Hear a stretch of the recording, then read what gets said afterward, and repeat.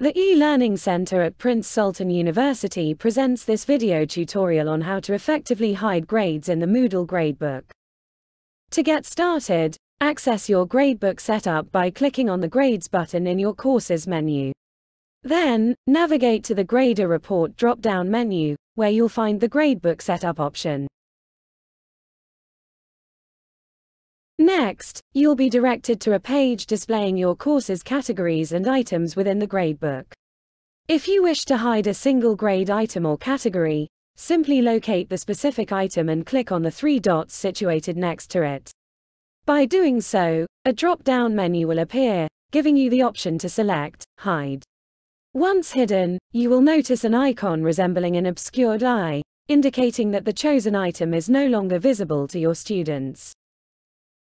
Furthermore, if you desire to hide the entire gradebook from your students, click on the three dots adjacent to the course's name.